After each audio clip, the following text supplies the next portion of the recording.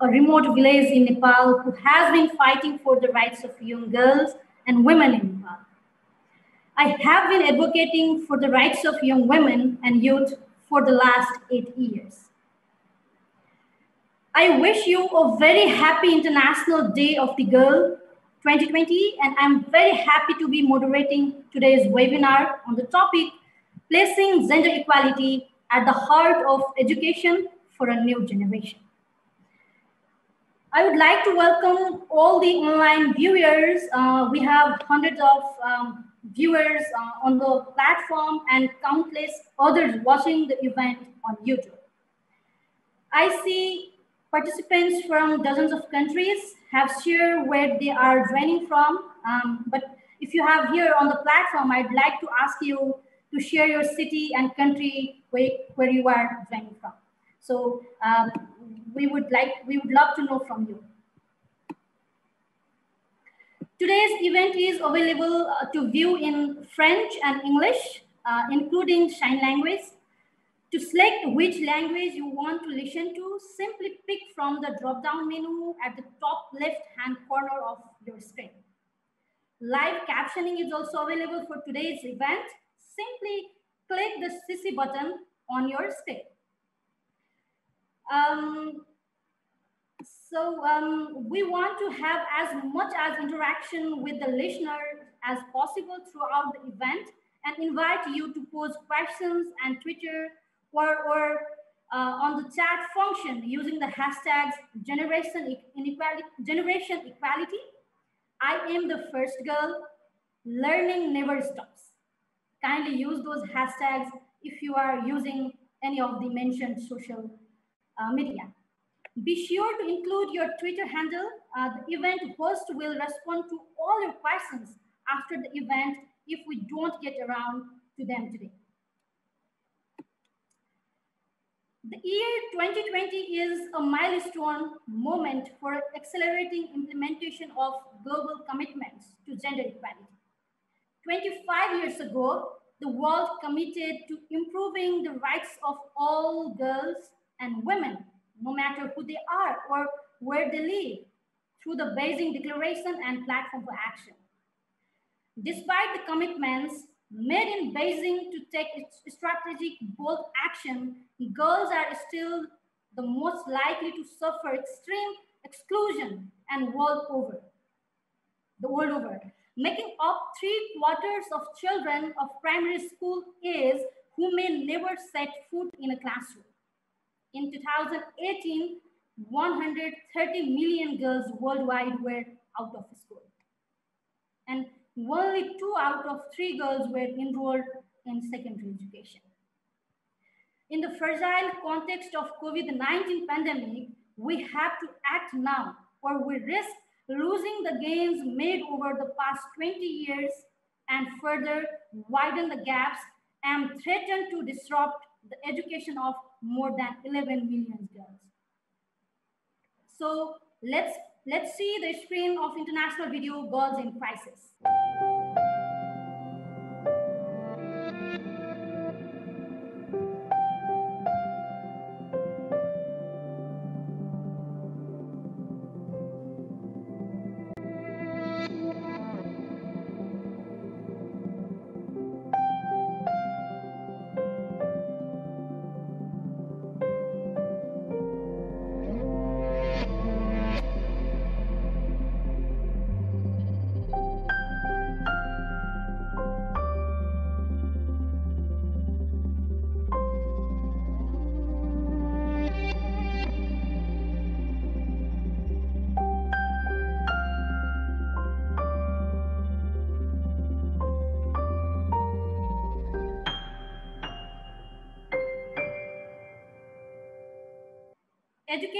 Had been identified as a cross-cutting theme for the six action coalitions, a set of specific, ambitious, and transformative actions to achieve sustainable gender equality that will be launched as the Generation Equality Forum planned for 2021, a global gathering which carries forward the Beijing platform for action. During the next 90 minutes, we will hear young women, ministers, and leaders from different corners of the world adding their voices to generation equality movement. All united by a collective ambition to achieve gender equality in and through education and tackle the unfinished business of the realization of girls' and women's right to education. Let's first hear from UNESCO's Director General Audrey Azoulay, followed by remarks from UN Women's Deputy Executive Director Åsa Regnér, whose organization is leading the development of a visionary new agenda to accelerate progress towards gender equality before 2030. Let's watch the video. Excellencies, ladies and gentlemen, I am delighted to be with you to celebrate the International Day of the Girl Child. Today is an opportunity to reaffirm our commitment to the education of girls and women, not only as a fundamental human right, but also as an effective driver of development for the future of our societies.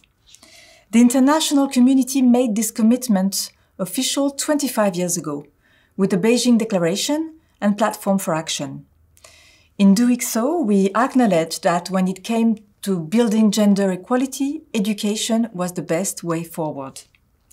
Today, as part of uh, the Her Education, Our Future initiative, we are launching our 2020 report on gender equality in education. This document reviews 25 years of efforts to implement this commitment and the scope of the international mobilization real progress has been made. In 2018, for example, an equal number of girls and boys were enrolled in primary and secondary school, compared to only 19 90 girls for every 100 boys in 1995. Today, two thirds of all girls receive secondary education, compared to half of all girls in 1998. But the report also shows that we are a long way from fulfilling our commitment to gender equality in education. And this was true even before the COVID-19 pandemic disrupted learning. The need for progress is clear when we consider that three quarters of primary school aged children who may never set foot in schools are girls. Or that only 2% of the poorest rural females in low income countries complete upper secondary school. These inequalities are amplified by enduring norms and prejudices affecting girls, including gender-based violence and early and forced marriage. This is also the conclusion reached in a report on adolescent education over the past 25 years, published by UNESCO, the French Ministry for Europe and Foreign Affairs, and Plan International. I thank them for their commitment at our side. The report discusses the obstacles standing in the way of progress towards the commitments made in Beijing. It calls for adolescent education to be central to action plans adopted at the next Gender Equality Forum in 2021. Today's anniversary must be an opportunity to reiterate these commitments and step up our efforts.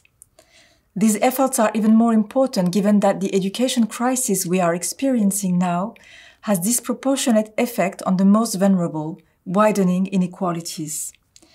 COVID-19 is threatening decades of progress, especially in girls' and women's education. According to UNESCO's estimates, an additional 11 million girls may never return to class after the pandemic, joining the 130 million girls already out of school. We must not let the pandemic reverse the progress we have made since 1995. We owe it to the next generations to ensure that the right to education is a reality. This is why UNESCO, through the Global Education Coalition, is working around the world to help member states find innovative distance learning solutions and prepare for school reopening, placing special emphasis on girls' and women's education.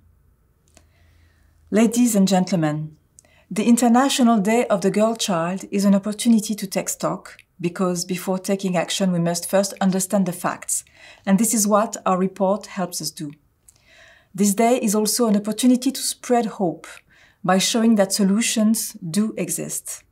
Dear friends, 2020 was meant to be a year of celebration for us. It's 25 years since we adopted the Beijing Declaration on Platform for Action, which is the world's action plan for gender equality.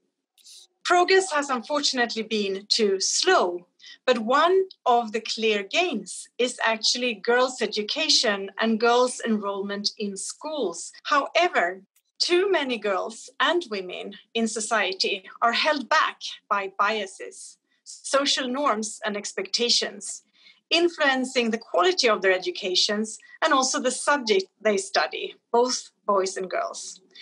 Girls and women are underrepresented in science, technology, engineering, and mathematics, and consequently in STEM careers.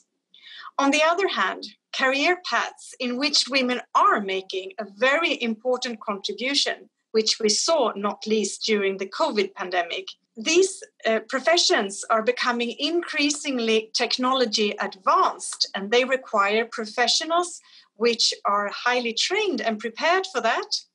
And we also have to talk about it in this ways. It's not always made visible and valued as highly technical professions. The digital revolution is one of the major shifts that have taken place since the Beijing conference. It has huge impacts on gender equality. The COVID 19 pandemic has made digital tools a lifeline for millions of girls, students, and workers, and has shown that the population excluded from the digital world is most at risk of being left behind. By singling out innovation and technology as one of the six Action Coalition themes, the conveners of the Generation Equality Forum are urging the world to focus on harnessing technology to advance gender equality. The Action Coalition on Technology and Innovation aims to provide girls and women equal opportunities to study and work with technology in STEM and other professions. It will ensure that girls can access digital tools and have the necessary skills uh, to use the devices and stay safe online. It will also ensure that girls have more access to role models and mentors to debunk stereotypes and expand understanding of educational and career pathways in STEM or jobs and professions which are highly reliant on new technology. In addition, all action coalitions will aim to address adolescents' girls' needs, including equal access to education. Thank you so much for having UN Women with you today. And I'm really eager to listen to the conversations. And please count on us in all further work on gender equality and girls' rights. Reports we are launching today we would like to ask you a few questions on your own understanding of achievements and challenges remaining for girls' education. We will do this through a short poll. Uh, to participate, uh, get your phone and go to www.menti.com as shown on the screen. Once the page is open, um, enter the code shown on the screen. It's the first question is, how many more girls are in school today than 25 years ago at the adoption of the Beijing Declaration and Platform for Action? This is the very first question.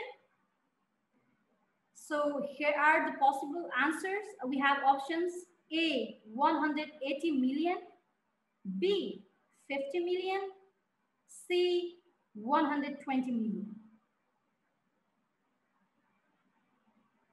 The correct answer of the answer is A. Yes, today 180 million more girls are enrolled in school than in 1995.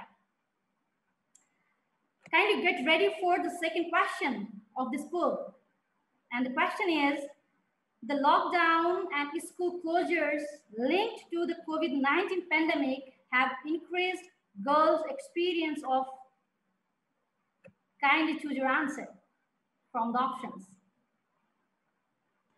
so yeah, we have receiving the answers. Well, um, let us let us stop here. Uh, thank you everyone for your active involvement uh, in this poll. And the answer is, and the answer is E, all of the above.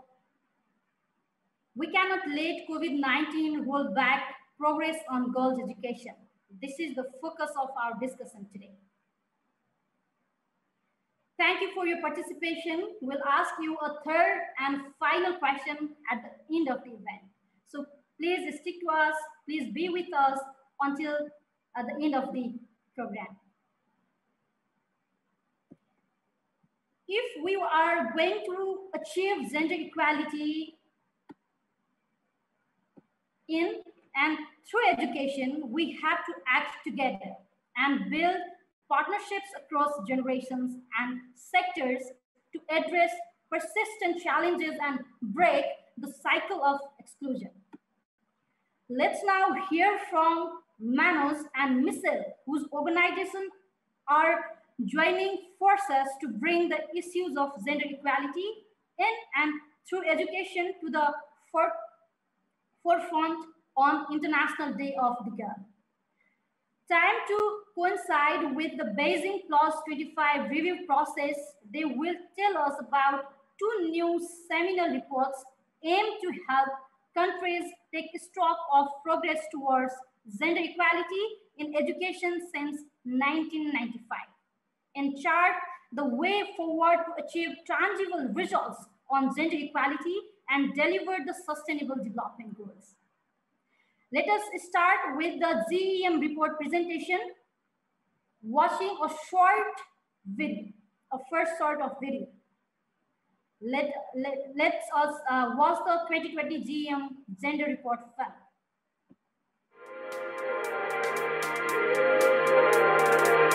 25 years ago, the world committed to advancing the rights of all girls and women, no matter who they are or where they live. Over the years, we have made incredible progress, with more girls now enrolled and completing school than ever before. In my family, there's not a thing about girls and boys. We are all the same, and boys and girls are always equal, and we should have the same opportunities. But progress has not always been equal and girls are still left facing the worst forms of exclusion. Child marriages is another challenge that we face in our school. Girls are married off early they have children and are forced to take care of their families. This means that they drop out of school. If we are going to achieve true inclusion for all, we must ensure that we do not leave anyone behind. Around the world, girls' learning outcomes are improving faster compared to boys. However, new gender gaps are forming around digital literacy and STEM subject choices. Even in the most developed countries, girls are less likely to pursue STEM subjects at school and university. This is a result of having career counseling that is not gender responsive, textbooks that still contain gender stereotypes, and teachers who have not yet been trained to address their own attitudes to gender as well. Gender inequality in teacher recruitment, as well as a lack of women in key leadership positions, add to this by reinforcing stereotypes around gender roles. In many developing countries, millions of schools are not inclusive due to their poor infrastructure and unsafe learning environments. Adding to this, school related gender based violence remains a threat that leads to young girls dropping out of school. There is no society in the world that has been able to develop uh, in the achievement of sustainable development goals without their girls being in school. To truly achieve success, we must take an intersectional approach that considers not just gender, but race, ethnicity, disability, and poverty, and the ways in which these interact for different populations. With the right laws, policies, curricula, and more gender sensitive teaching, countries can break through. In Malawi, multi sector partnerships are also helping more young girls return to school after pregnancy. ntabweresa sukulu nali nkisanga fuenerani nebweresa osukulu zomwe sukulu. Mofuna ndisamalira mwana wanga ndi kugwira ntchito bank manager. Achieving truly inclusive education for all cannot happen until unequal gender norms in society have been stamped out. Parents and communities must be invited to work with governments on finding solutions and to confront ongoing gender discrimination taking place around all of us every day.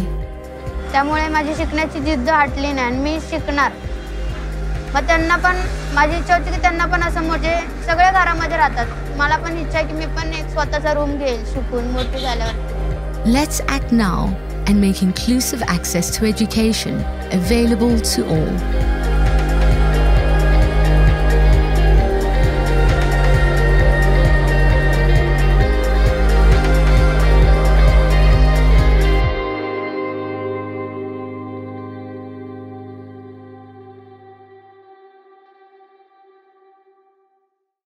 great collaboration to this day. You've heard a lot of my um, numbers already by the different interventions so far. So I just would like to take you briefly through the key uh, results of uh, the 2020 gender report, which is the seventh uh, in a row uh, since we launched this series back in uh, 2011. My name is Manos Antoninis. I'm the director of the Global Education Monitoring Report, and we set to produce a report that would be complementary to the 2020 um, global report that focused on inclusion in education, but also to um, address the question of the 25th anniversary of the momentous Beijing Declaration and Platform for Action. As you heard, uh, the, um, the key finding is that there has been progress. Really, the progress that we have made in girls' education has been one of the pillars of the progress that we have made towards gender equality overall in the last 25 years. You heard the, the, key finding, 180 million more girls have enrolled in primary and secondary school. That means that gross enrollment ratio among uh, girls in primary and secondary education increased from 73 to 89% in these 25 years, closing a very large gap of eight percentage points that they had with boys. The big progress particularly noted in Southern Asia. Female enrollment has risen by three times in tertiary education, and the report uh, has some interesting findings about how this progress has been particularly interesting in Northern Africa and Western Asia. And learning outcomes, you heard that also uh, on the video, have been overtaking uh, those of boys, uh, which is a major um, finding because not only about reading, it's also about science and mathematics. And that's a finding I will come to in a minute. And girls' education in this in the uh, past generation is also helping break the cycle uh, of disadvantage. Those girls that we were born in low-income countries in the 1980s uh, have acquired seven more months of education for every year of education that their mothers had received. But that is not enough, is not the whole story, because girls unfortunately still face the worst forms of acute exclusion. Three quarters of girls, equivalent to 9 million girls, um, of those children who may never set foot in uh, any school ever are girls. And it is those facing intersecting disadvantages that are facing the largest barriers of access. The report shows that there are at least 20 countries, probably quite a few more, where the poor rural girls uh, none of them is actually ensuring that they complete uh, secondary school.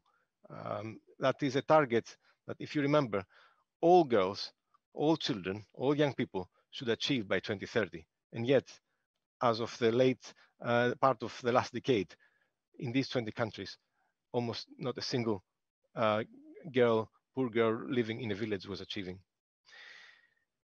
legacy uh, of uh, past neglect of women's education means that, unfortunately, throughout this period, 63% of women, um, of, of all adult literates are women. This is a statistic that sadly has not changed. Of course, these changes will trickle down in the coming years, but it just shows how long it takes for uh, changes to be observed in the population. This report was drafted and decided to focus on the 25th anniversary because of the opportunity that uh, the Gender uh, Generation Equality Forum is providing in 2021. This is a, a forum that is tasked uh, with the uh, opportunity to develop a new text that would set the new agenda for gender equality in the coming years. The organizers have identified six so-called action coalitions on different themes to inform this uh, new text. Education may not be one of them. However, it has been designated as a cross-cutting theme.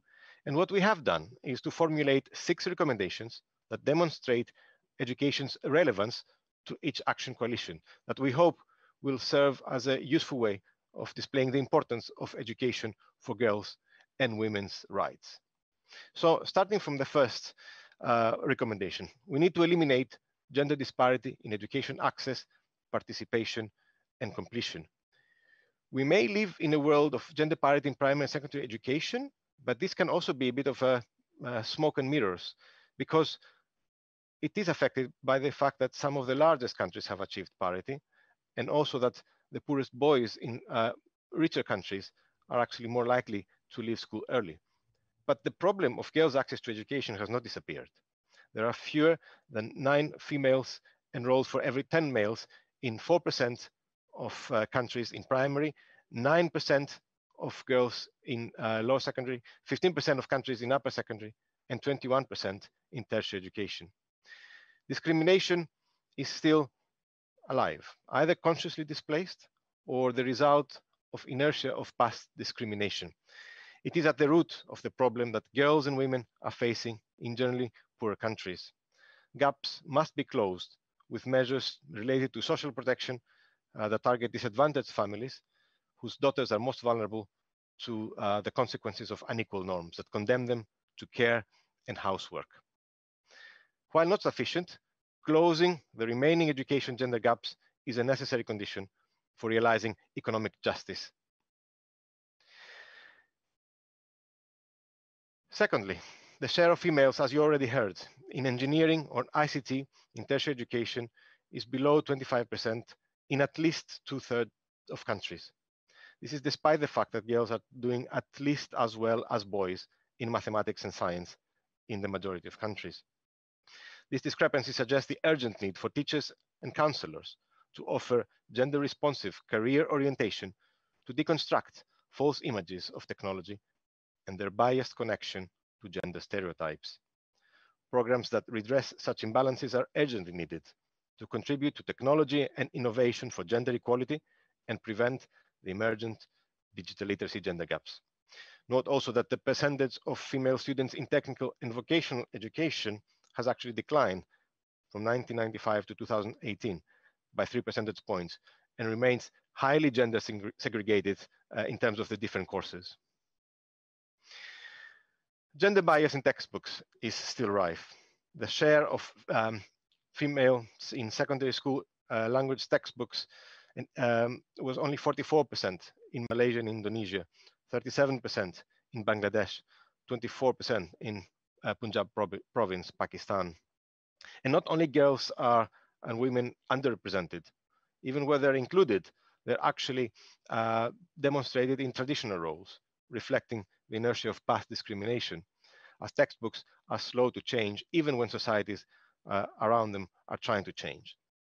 Yet textbooks are the only books that some children are going to ever read. So they are very powerful tools to promote women's rights. Women, unfortunately, are shown in passive, dependent, and domestic roles. So it is necessary to develop gender responsive teaching and learning materials through regular gender audits of textbooks, inclusive processes where women participate and voice their views, and uh, support is provided by appropriately trained curriculum experts. A gender dimension must be explicit in tenders, terms of reference, and contracts for drafting such teaching and learning materials. And teachers need also to be trained to use them. The fourth recommendation reminds us that unequal gender power relations are also expressed through gender-based violence. And in its school-based form, violence is an obstacle to achievement of universal secondary education and perpetuates gender unequal norms.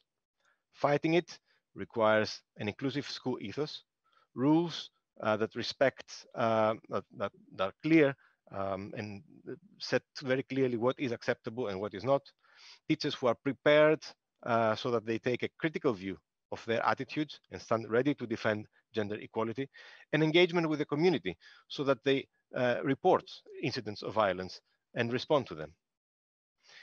Sanitation facilities need to be improved to strengthen feelings of privacy and safety. And let's not forget that cyberbullying is a new form of violence. 38% of girls were treated in a hurtful or nasty way via social networks.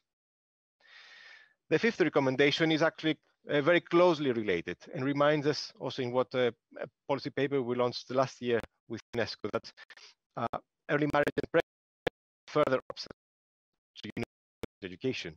Early pregnancy rates are still very high. One in four 18-year-olds is a mother in sub-Saharan Africa, and yet there are still two countries that even actively ban pregnant girls from going to school, There are about 20 countries that do not really provide the support girls need, pregnant girls and young mothers need to return to school. It is uh, therefore very important that communities uh, no longer harbor prejudices. Uh, they cannot condone child marriages. They cannot tolerate violence. Governments will need to commit to implementing comprehensive sexuality education as a tool to help promote bodily autonomy and sexual and reproductive health rights. But also, we need to overcome two major challenges. First, that many people still hold erroneous beliefs unsupported by evidence about the appropriate content of education, which are often fueled by organized opposition. And secondly, they need to manage the very complex implementation of such reforms in the content of education because they need to combine financing, teacher education, curriculum content, uh, assessment, monitoring and evaluation. All of these are really complex reforms that require full attention by governments. The sixth recommendation is that while in some low-income countries, especially in rural areas, there are still too few women teaching. However, the teaching profession overall is characterized by feminization. Such gender segregation contradicts commitments to gender equality in the labor market, and it is often linked to perceptions of teaching as a career that better suits women, perpetuating gender unequal norms. These norms are also reflected in the limits women are facing in attaining education management and leadership positions, in 48 middle and high income countries, there is a gender gap of 20 percentage points among teachers and head teachers in lower secondary schools. So measures to promote gender equality in education management and leadership would support progress in gender equality in management and leadership positions overall, uh, which is a key factor and key aspect of uh, the Equality Forum, Generation Equality Forum. That brings me to the end of the presentation. And I would like to thank you for your attention. Together with the report, we are running a campaign, I am the first girl. We have been hearing the stories of girls who are the first in their family to graduate, some of whose stories appear in the report, and others you will be able to read on our blog in the coming days. We welcome the continuity in donor support to the priority that France and Senegal gave to girls' education three years ago through uh, the um, Global Partnership for Education Replenishment, and also France following Canada through the, uh, its G7 leadership. We just heard the United Kingdom and Kenya put girls' education at the heart of the new GP replenishment campaign, and also that the UK will um, be uh, putting girls' education so also at the heart of their G7 uh, presidency. We stand ready to help with the process, and we feel that there is a real momentum building for change. Thank you very much.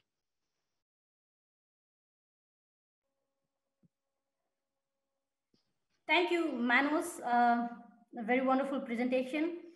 With COVID-19 making inequalities even more entrenched, this is a critical point of girls' education.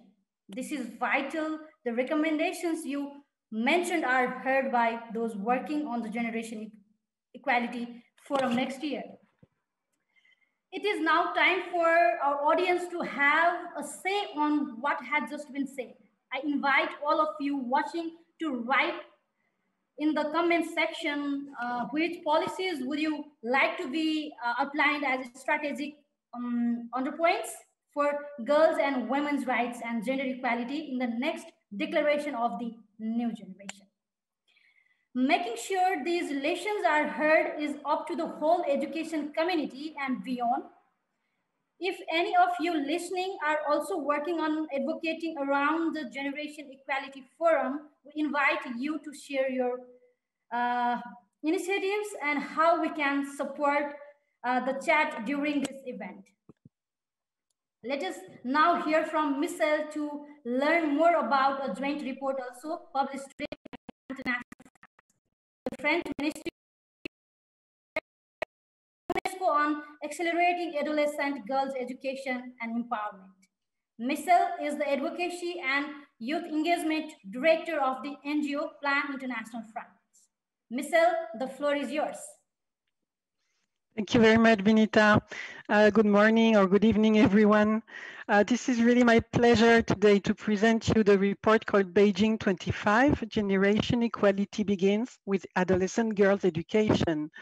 This is a joint report from the French Ministry of Foreign Affairs, Plan International France, and UNESCO. I'd like to start this presentation quoting a passionate adolescent girl advocate from Paraguay. Next, please. She says, I get goosebumps when I realize that 25 years ago, women were already fighting for our rights. Knowing what happened 25 years ago encourages us to keep on fighting for the rights of the girl. Well, this is all about it. Tremendous progress has been made, but we need to continue the fight for gender equality together with the new generation. Next, please.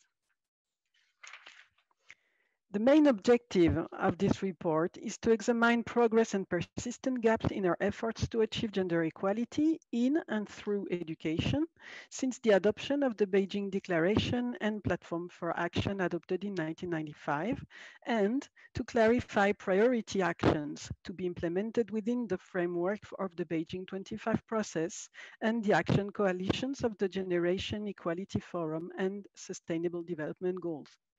The report also aims at promoting adolescent girls' voices and expectation and share inspiring studies, tools, and initiatives from a variety of partners and countries. Next, please. Importantly, the report also aims to inform the six action coalitions that are being established in the context of the Generation Equality Forum taking place in 2021 which are catalyzing action on six areas of the unfinished agenda laid out in Beijing with a call to place adolescent girls' education at the very heart of the action coalitions. Next, please. Why having a focus on adolescent girls' education?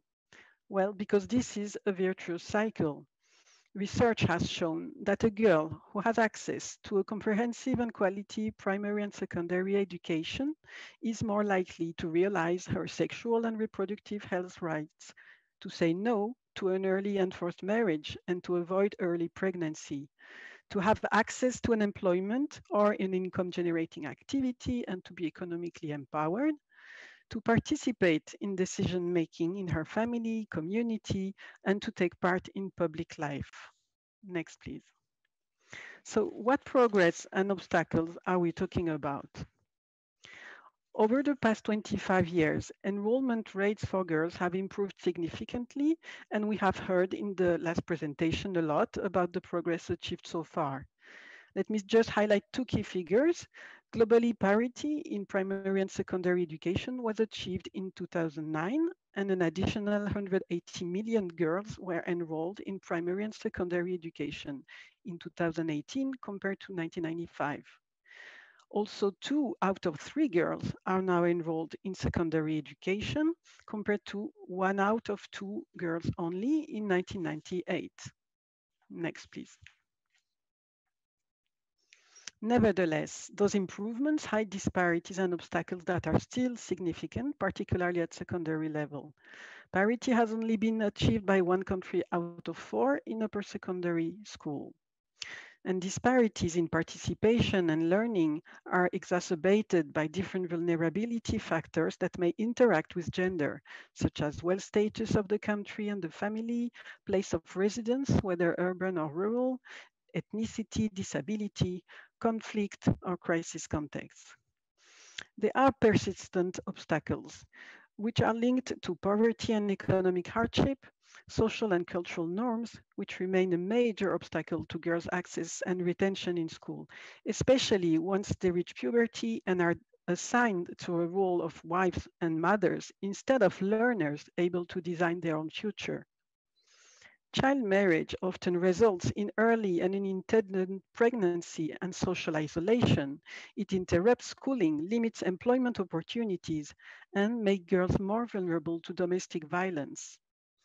School-related gender-based violence has an impact on the quality of learning and is a key factor in adolescent girls dropping out of school.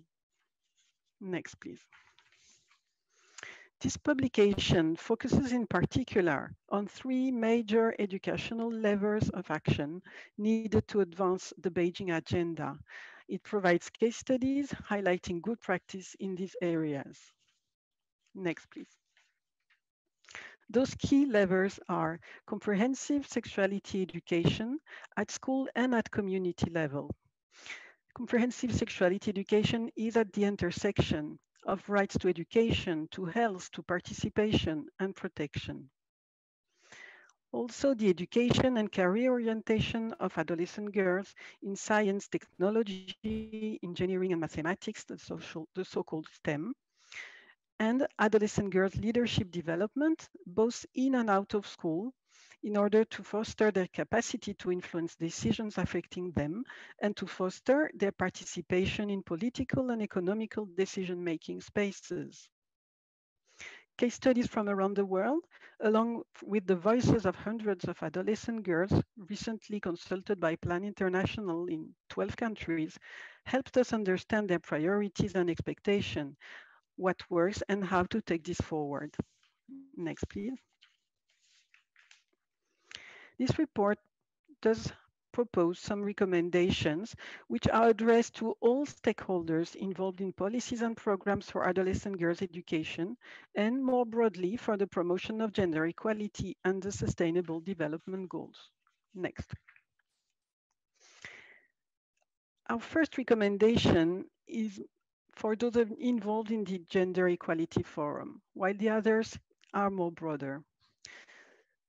First one is to place adolescent girls' education, formal and non-formal, at the heart of the six themes of the Generation Equality Forum Action Coalitions. Secondly, collect and use age and sex disaggregated data to inform planning to address adolescent girls' need, including in crisis contexts. Invest in education, which transforms social and cultural norms, holding adolescent girls back, with adequate policies and funding. In particular, ensure investments in three levels of action, quality comprehensive sexuality education, gender responsive STEM education, and adolescent girls leadership development. This report entails specific recommendations for each of those three areas considered as levers of success. Next, please. Promote inclusive multi-stakeholder partnerships and collaboration that work across sectors to address adolescent girls' needs in a holistic way.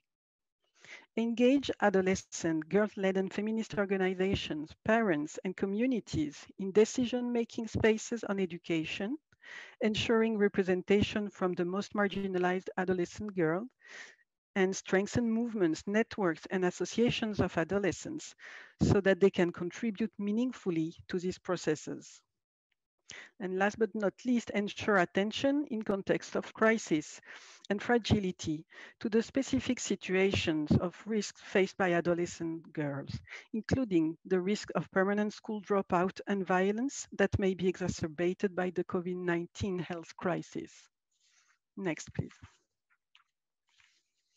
To conclude this presentation, let me share with you the vision of Chanceline, a powerful young woman from Benin. She says, my vision is to contribute to the birth of a new generation of young girls who are actors of development, girls who have access to learning opportunities and to sexual health education in order to make decisions and thrive healthily. Girls who are fighting to make their dreams come true, girls who fight against inequality. Let's endorse this vision and make it altogether a reality by guaranteeing the right to education for all adolescent girls and boys. Thanks for your attention.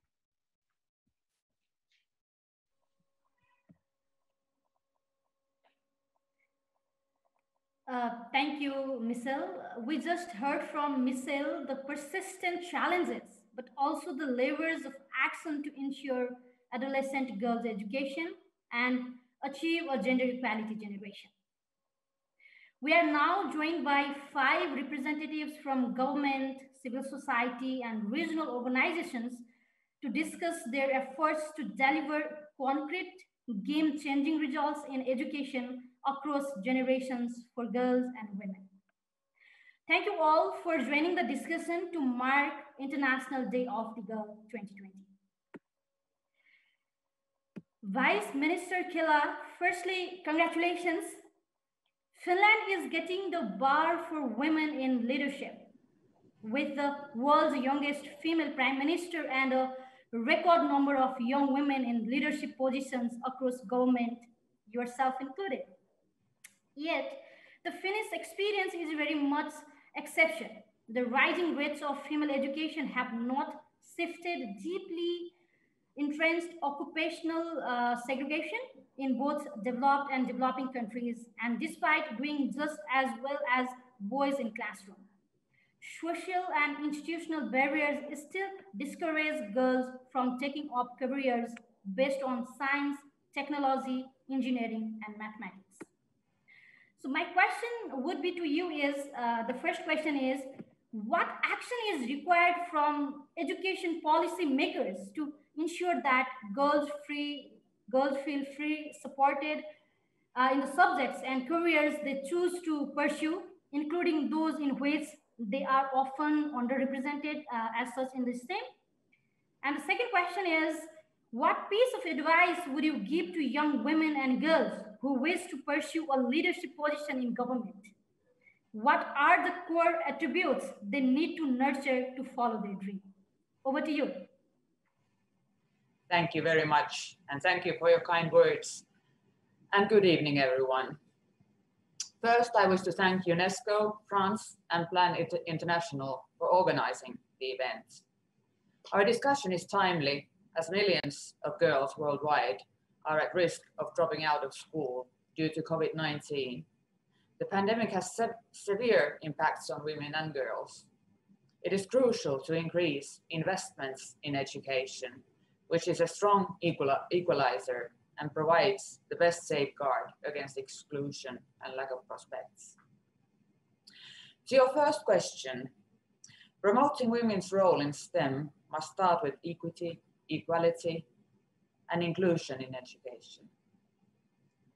As a small nation, this is the number one lesson in Finland. We simply cannot afford losing the potential of any individual in society. Measures to improve welfare and support for learning must be strong. It is important to look at the segregation of professions. In case of Finland, working life is strongly segregated and separation of men and women into different fields begins early.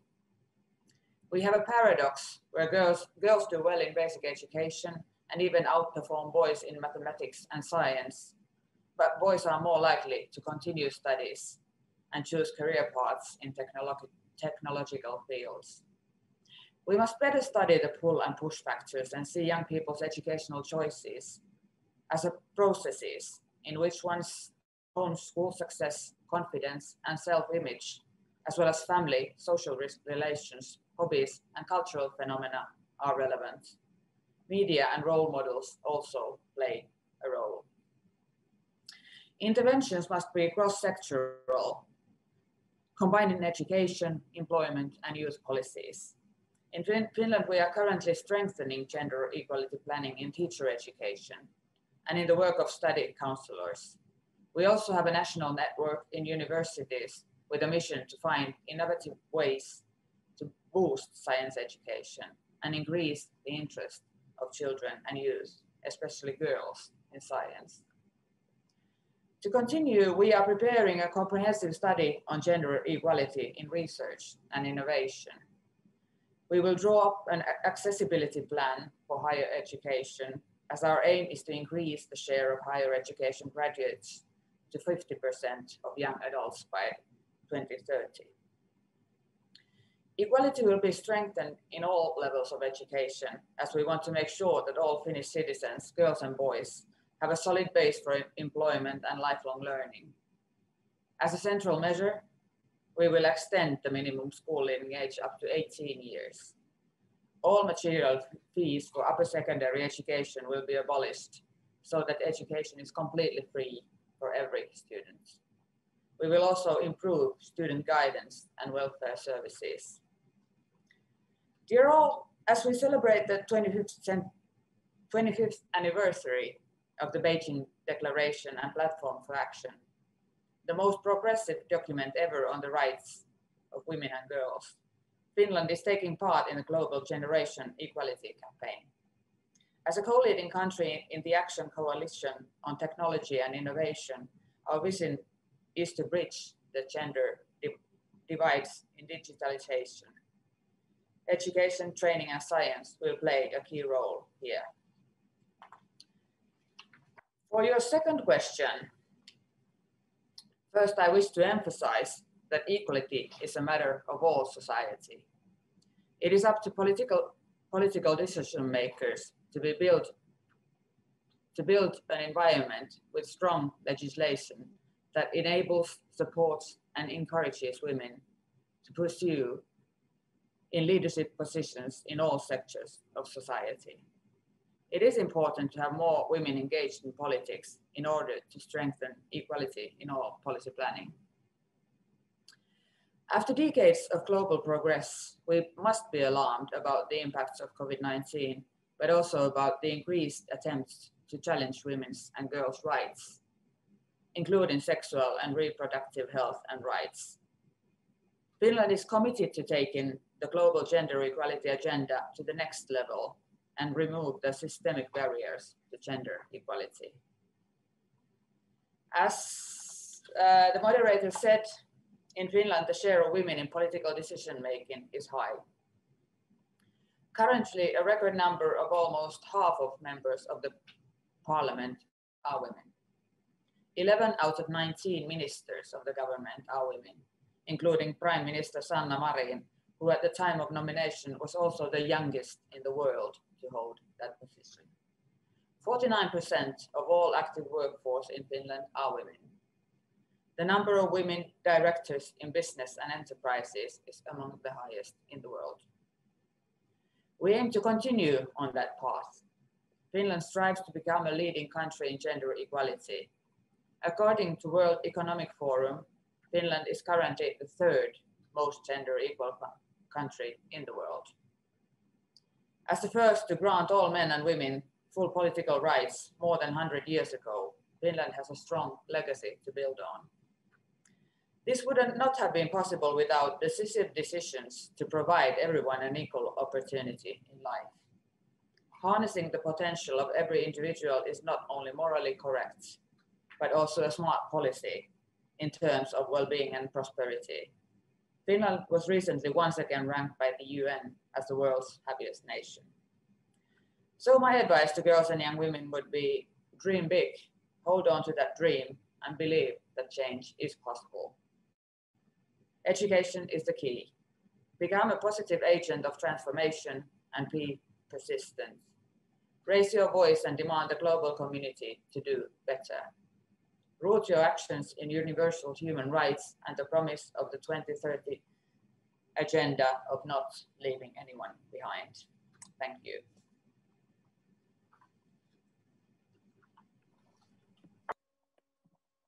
Thank you very much, Honorable Minakila, for your wonderful remarks and answering all the questions. We know that education can give women and girls the life skills they need to adjust to an uncertain future, to stand up to discrimination and violence, and to make decisions about healthcare, including sexual and reproductive health. Countries need to focus on making schools more inclusive to all students, no matter their background, ability, or inability, particularly in the face of COVID-19, which has accelerated already existing inequalities. This requires better sanitation facilities in schools, greater attention on school-related gender-based violence, particularly in online fora, and inclusive policies enabling pregnant girls to go to school and come back after. Uh, we will be having French Sign Language interpretation for the next three speakers. Uh, I'd like to inform all the respected participants. We are joined by a representative from Senegal's Ministry of Education, Ms. Marie Bobo Sibi, uh, the technical advisor to the minister.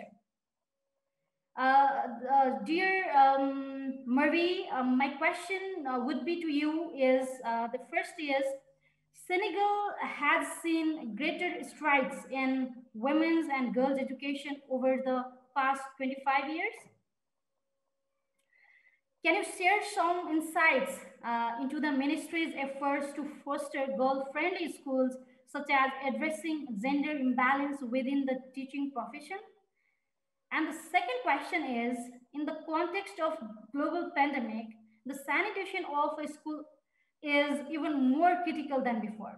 What efforts has your ministry led to improve sanitation and menstrual hygiene facilities in schools? Both essential uh, measures to reduce um, absenteeism of uh, the facilitated girls, uh, orientation in adolescent, sorry, in adolescence. So these two questions are to you, Miss Amari. Over to you. Merci beaucoup. Merci. Bonjour à tous et à toutes. Euh, comme vous l'avez dit, le Sénégal a déployé un certain nombre d'efforts. Je dois rappeler que nous sommes partis justement de 1995. Après Beijing, nous avons tenu un forum national sur l'éducation des filles parce qu'en son temps, on avait un taux brut de scolarisation des filles qui était à moins de 45% Donc, suite à la tenue de ce forum, le Sénégal s'était fortement engagé, euh, je, peux ne pas revenir sur ça, donc au niveau international avec euh, les conférences, euh, les grandes conférences, les, grandes sessions des MINEDAF de la Confémen, mais aussi participation forte au partenariat de Lungaï. Et tout cela nous a permis justement d'aborder la problématique de l'égalité des sexes à l'école sous différents angles, avec une approche qu'on appelle l'approche STAR, basée sur d'abord la situation, les tâches, les actions à mener et les résultats obtenus. La situation, nous partons du cadre réglementaire avec euh, la loi d'orientation de 1991 loi 91-22 modifiée en 2004, justement, qui fait de l'égalité des sexes une réalité dans le secteur de l'éducation. Et cela nous poussait justement à promouvoir l'éducation des filles. L'approche STAR, c'est d'abord la situation aussi au-delà du cadre réglementaire. Il y a eu une analyse situationnelle. Comment, justement, quels sont les obstacles à l'éducation des filles? Une étude a été menée dans ce sens et au-delà de cette étude, nous avons ajouté une autre socio-anthropologique maintenant pour permettre d'encadrer les réalités socioculturelles pour, au niveau de chaque localité. Vous l'avez dit tantôt, un nouveau défi est venu se greffer malheureusement à ça. C'est euh, justement la problématique de la COVID-19, mais aussi l'accès des filles aux filières scientifiques. Il fallait d'abord qu'elles entrent. Si elles entrent, qu'elles y restent. Mais au-delà de cela, comment faire pour que nos filles soient justement dans les écoles et aussi au niveau des filières scientifiques. Un certain nombre d'actions, nous, nous l'avons dit.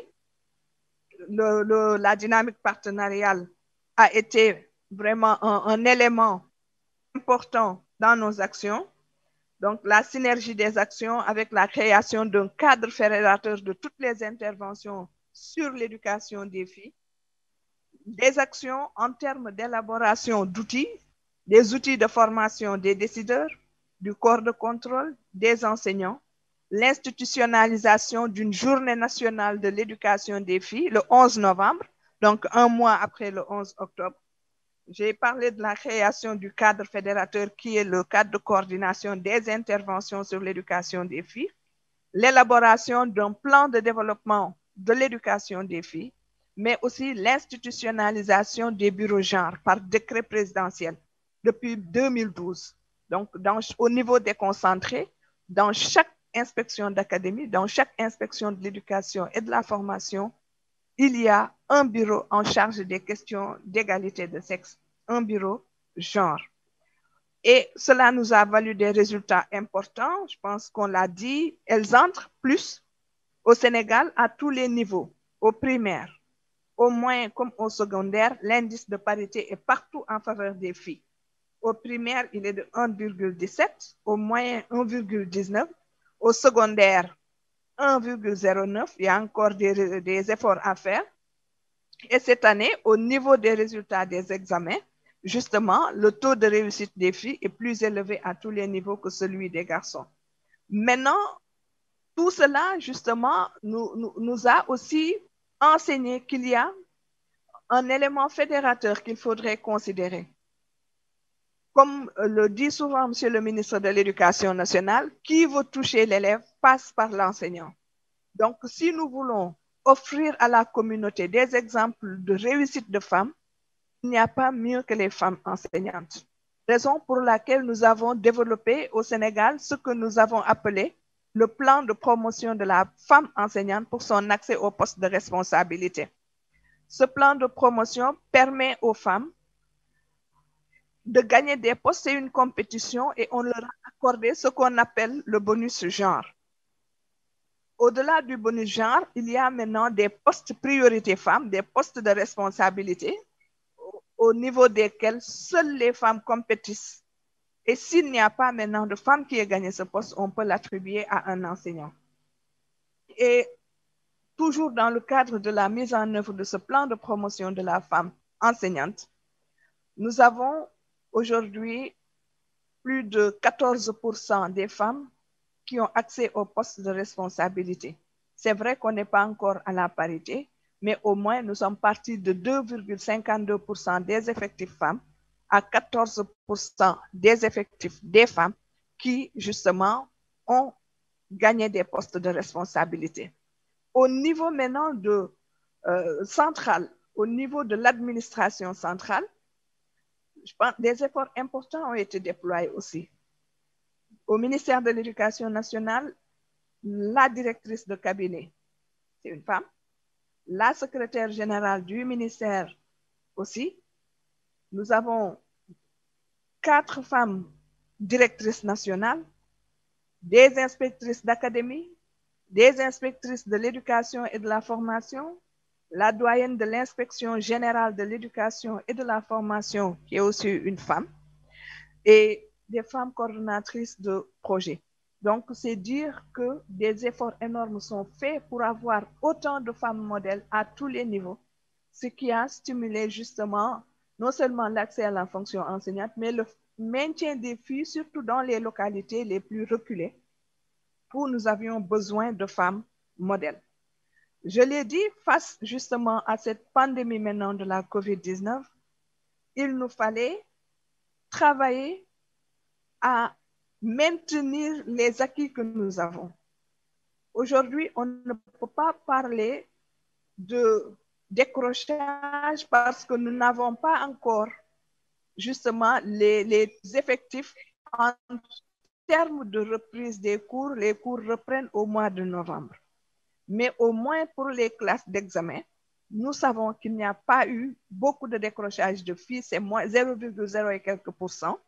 Et les résultats nous montrent en suffisance que les filles sont bien présentes. Pourquoi?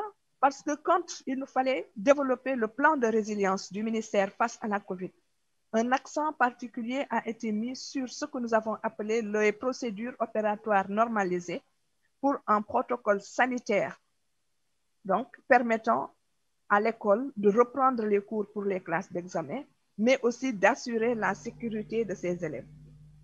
Et justement, au niveau du, du, du, protocole sanitaire, il est dit clairement que ne pourront être ouvertes que les écoles disposant d'eau courante. Euh, donc, euh, ces écoles ne seront ouvertes que les écoles disposant de toilettes ou de latrines séparées pour les filles et les garçons, équipées en eau et en savon. Et les déchets de tous ordres doivent être éliminés tous les jours.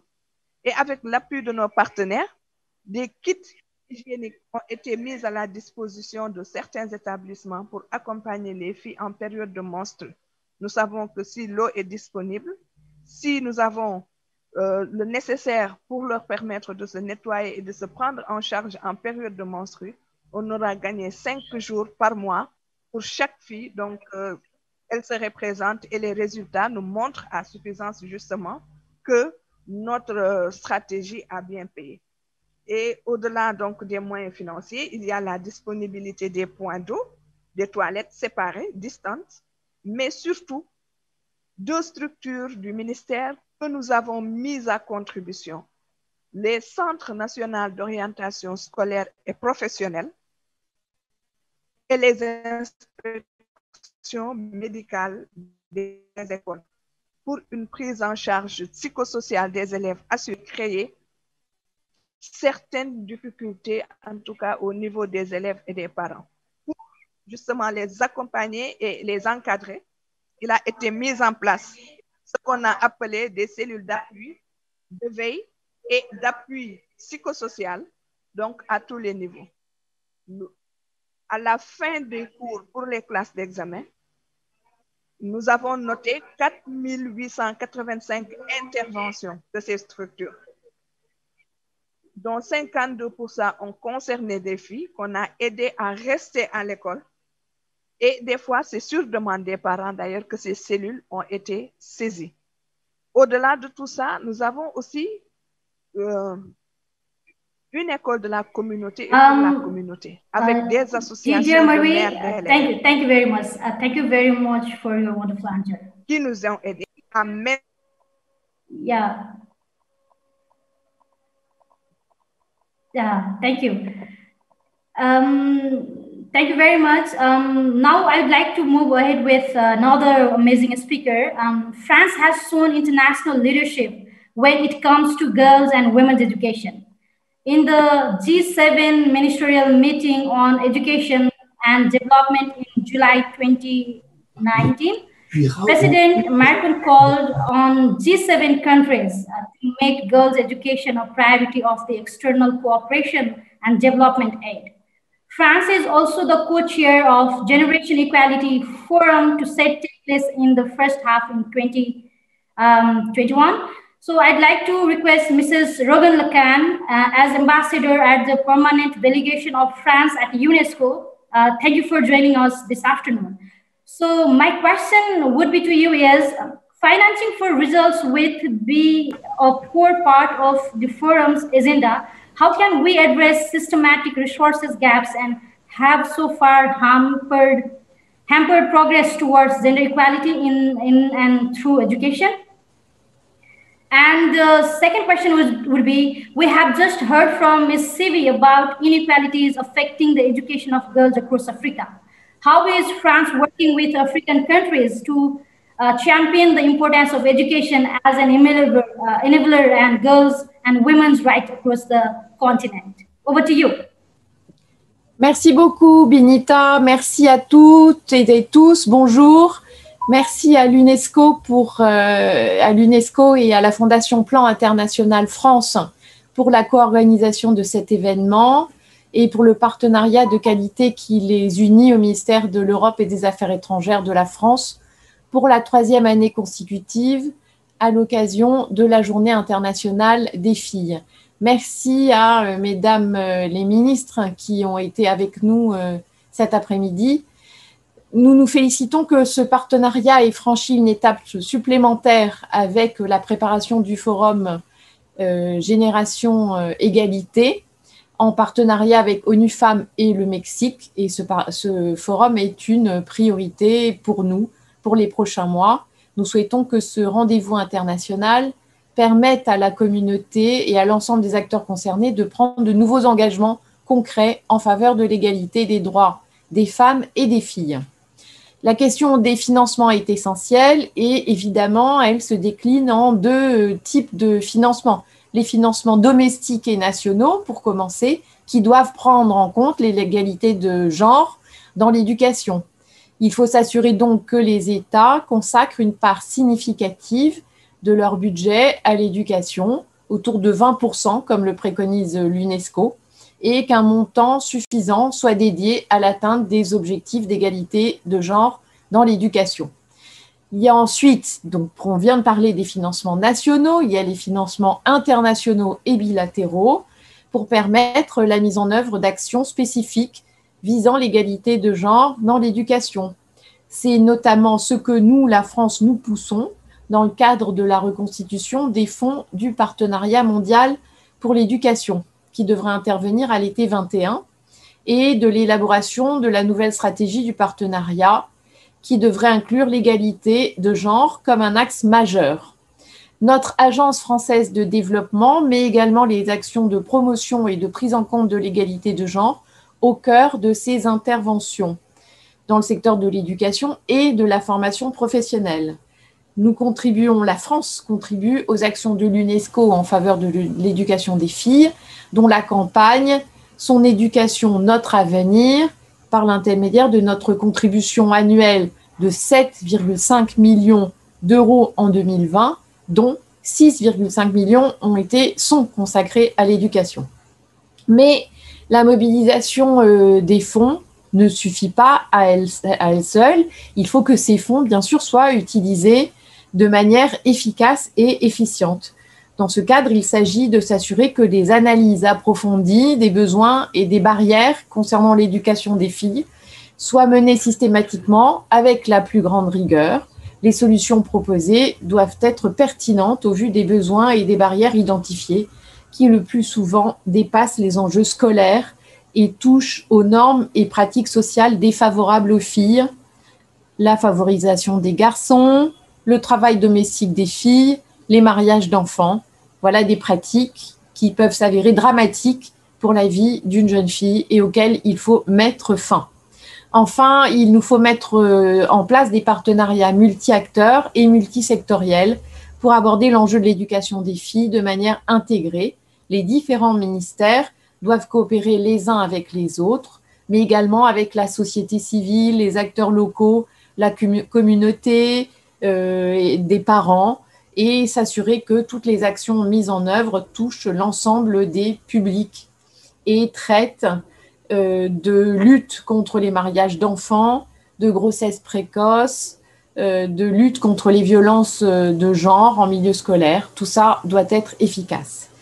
S'agissant, Binita, de votre deuxième question, nous venons d'entendre la ministre Tala parler de ces inégalités nous nous la France, avons fait euh, de cette égalité entre femmes et hommes notre priorité. Le président de la République, Emmanuel Macron, en a fait la grande cause de son mandat.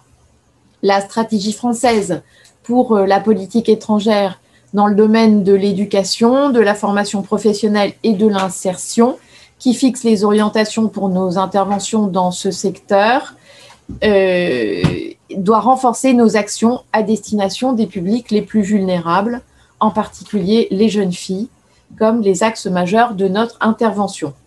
La France soutient l'accès des filles à une éducation de qualité et leur maintien à l'école, notamment au niveau secondaire, en encourageant l'inclusion de ces objectifs dans la conception et la mise en œuvre de politiques éducatives des pays partenaires, notamment sur le continent africain.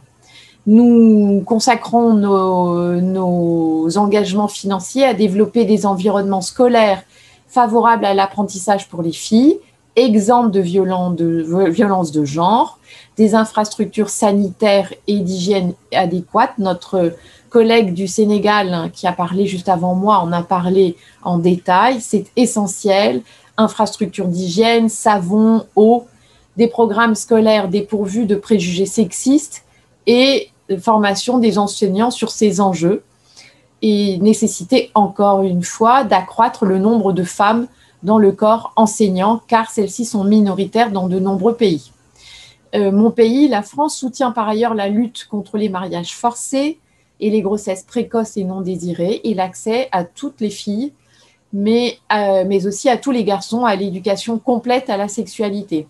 Dans ce cadre, la France soutient le financement du programme du bureau régional de l'UNESCO à Dakar, le programme O3, en anglais Our Lives, Our Rights, Our Future, ça veut dire nos droits, nos vies, notre avenir, c'est pour ça que O3, qui porte sur l'éducation et la santé, et notamment la santé sexuelle et reproductive, à hauteur de 2 millions d'euros. La politique de coopération française encourage également l'orientation des femmes vers le secteur des STEM, le développement de la participation des femmes à l'enseignement technique et à la formation professionnelle. Nous promouvons ces actions, notamment dans le cadre de la mise en œuvre de l'initiative Priorité à l'égalité lancée par le G7 sous présidence française en 2019. Cette initiative, mise en œuvre conjointement par l'initiative des Nations Unies pour l'éducation des filles, UNGEI et l'Institut international pour la planification de l'éducation de l'UNESCO, IIPE, vise à accompagner huit pays pilotes, Mauritanie, Niger, Burkina Faso, Mali, Tchad, Sierra Leone, Nigeria et Mozambique, pour renforcer l'égalité filles-garçons dans tous les aspects de leur système éducatif, curricula, un enjeu essentiel pour l'éducation pour nous, infrastructure, formation des enseignants, gestion des écoles, prévention des violences liées au genre. La France soutient cette initiative à hauteur de 4,5 millions d'euros en 2020, dont un soutien à l'IIPE de 2,5 millions d'euros et un soutien à l'UNGEI de 2 millions d'euros. Nous nous assurons également que la problématique de l'éducation des filles est dûment prise en compte dans les actions appuyées par les organisations internationales, notamment, comme je l'ai évoqué plus tôt, celle du partenariat mondial pour l'éducation. Et nous développons des partenariats avec des organisations de la société civile qui sont souvent à la pointe des approches innovantes pour accompagner les transformations sociales sur le terrain. En gros, nous sommes engagés. Nous vous remercions tous et toutes pour votre engagement et nous ne pouvons que continuer. Merci à toutes. Merci Vinita.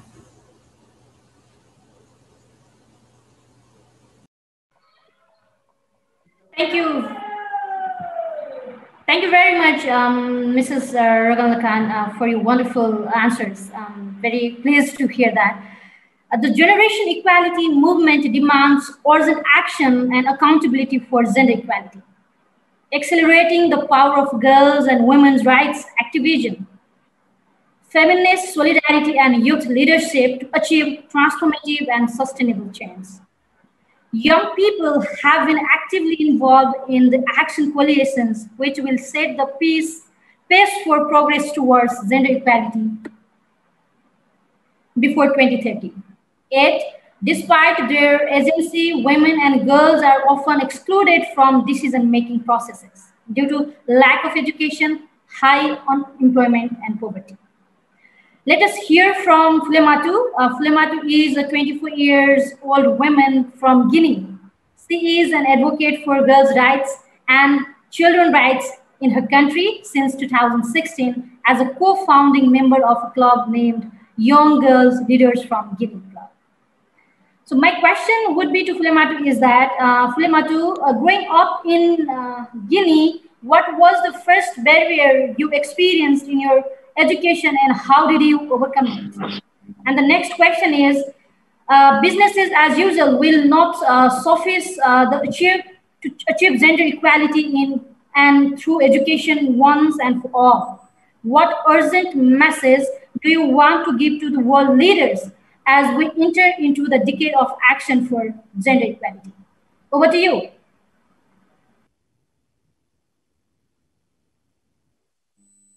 Euh, merci beaucoup pour les deux questions, Bineta. Euh, les obstacles, pour la première question, l'obstacle auquel j'ai été confrontée, hein, euh, être né dans une famille où la scolarisation n'est pas une priorité pour euh, les filles, mais plutôt les travaux ménagers. Tel a été mon obstacle parce que au lieu de me, au lieu d'aller euh, à l'école tôt le matin, il fallait d'abord faire des travaux ménagers avant de partir, chose qui me mettait en retard.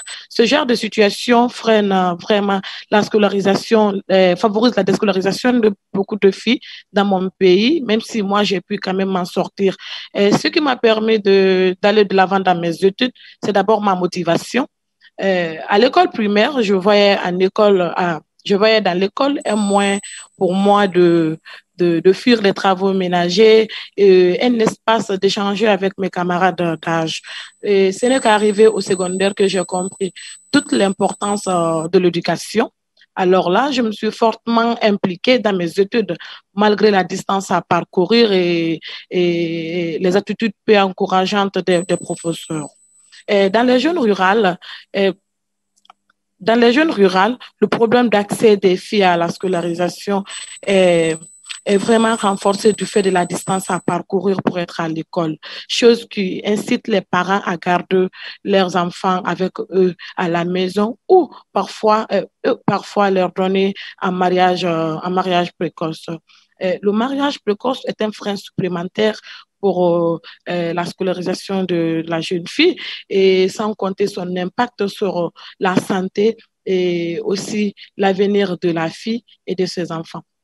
Pour ces cas, je, me permets de donner, de partager avec vous un exemple de, de Fanta, l'exemple de Fanta.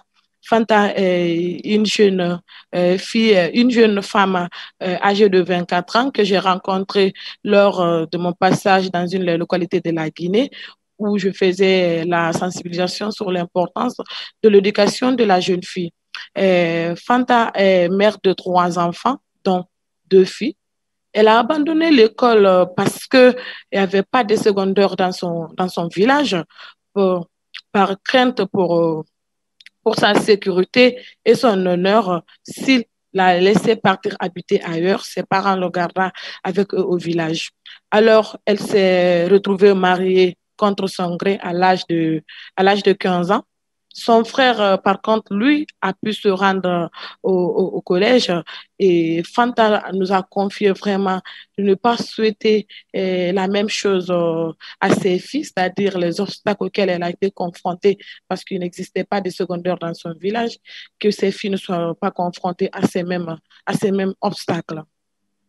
Et vous allez constater que mon cas est le cas de le Fanta est un peu euh, différent. Pourquoi? Parce que moi, je suis née dans la zone urbaine et grandi là, et Fanta est née dans la zone rurale et grandi aussi là-bas. Mais ces, deux problèmes sont vraiment euh, le, problème des milliers de filles de la Guinée, que ce soit en zone urbaine ou en zone rurale. Et ce qui concerne la deuxième question que m'avait posée euh, Bineta, euh, pour cette deuxième question des messages prioritaires que j'ai à faire passer aux dirigeants du monde entier pour vraiment apporter un changement pour que vraiment le rapport soit de qualité. Et, et j'ai préparé des recommandations que je vais commencer à dicter pour vraiment pour atteindre l'égalité de genre dans et à travers l'éducation, il faut favoriser la scolarisation des filles et leur maintien à l'école au niveau primaire et secondaire surtout. Pour cela, il faut investir financièrement dans les systèmes éducatifs transformateurs de rapports de genre. Et cela passe par des mesures d'ordre économique, et des mesures d'ordre économique, par aussi l'amélioration de l'offre éducative, par aussi l'amélioration de la qualité de l'éducation surtout, mais aussi la promotion du leadership des filles à l'école. Et quand on prend des mesures d'ordre économique pour lever des freins économiques à l'éducation des filles, il faut des activités génératrices de revenus pour les parents dans les zones rurales, tout en leur exigeant d'inscrire leurs enfants à l'école. La promotion de bourses d'études pour des filles dans les zones rurales pour qu'elles accèdent au niveau secondaire. La promotion de bourses pour des filles qui obtiennent leur bac puissent poursuivre des études supérieures et aussi les dons en kit scolaire. Quand on prend l'amélioration de l'offre éducative, il faut la construction de plus d'écoles publiques dans les zones rurales et leur équipement adapté. Quand on prend l'amélioration de la qualité de l'éducation, il faut surtout l'intégration de l'hygiène menstruelle, il faut surtout l'intégration de l'hygiène menstruelle et de l'éducation complète à la sexualité dans dans les programmes scolaires. Il faut aussi l'enseignement de l'égalité de genre aux enseignants, tout comme aux élèves. La promotion du leadership des filles à l'école et en dehors de l'école. Par exemple, en célébrant des, de, des modèles de réussite féminine pour encourager les autres à emboîter le pas des aînés est très important. En mettant des moyens à la disposition des organisations de jeunes, notamment des organisations conduites par des jeunes filles pour plus d'actions communautaires. Pour terminer mes recommandations, pour terminer, j'aimerais demander aux leaders et à toutes les parties prenantes qui m'écoutent en ce moment d'inscrire l'éducation des adolescentes au, cœur des coalitions d'action et des plans d'action à cinq ans qui seront développés lors du forum Génération Égalité. Car sans l'éducation des adolescentes, il n'y aura pas d'atteinte d'égalité de genre. Je vous remercie. Merci, Vineta. Thank you very much, uh, Flimatu. Now we have a film called Learning Never Stop film by UNESCO.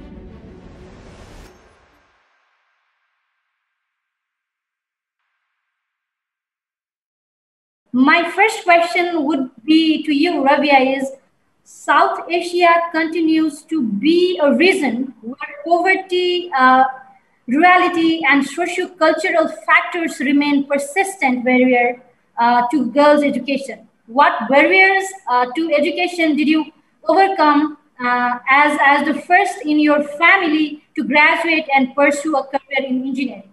And the next question is, in your opinion, uh, what do we need to do to hold governments and international actors accountable for the level of re um, reorientation and additional financing needed to achieve gender equality in education?